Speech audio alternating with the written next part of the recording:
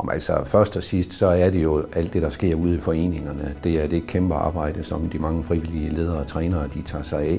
Det er det, der skaber hele grobunden for, at der er mange, der spiller håndbold, og at vi laver så gode resultater, som vi gør.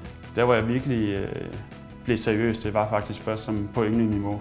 Og det tror jeg måske, det er en af de allervigtigste ting ved at, ved at være ungdomsspiller, det er, at du har det godt med håndbolden, du hygger dig med det, Øh, og hvis du gør det, så, så kommer lysten automatisk. Du kommer, den der vilje til at vinde, og den der vilje til at træne og til, til at blive bedre, den tror jeg på, den kommer meget bedre, end hvis du hele tiden har en træner, en klub, der, der sætter mål på dine vegne.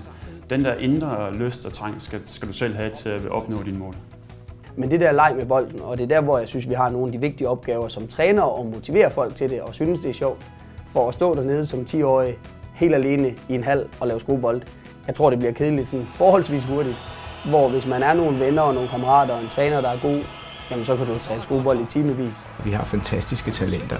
På herrehåndboldsiden har vi øh, mange dygtige øh, spillere, øh, og vi prøver at øh, udvikle hver enkelt af dem, sådan så de ikke bliver udviklet som sådan en metervare, men at de i stedet for øh, bliver, bliver nogle spillere, som, som vi kan bruge, og som kan bruge sig selv fremover øh, sådan så at øh, det, at de er en del af et hold, det øh, egentlig betyder, at de har nogle specielle kompetencer, de byder ind.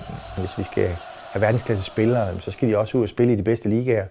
Vi har jo de sidste 10 år for, for Herne haft spillere i den tyske liga, den spanske liga, øh, og det gør en forskel.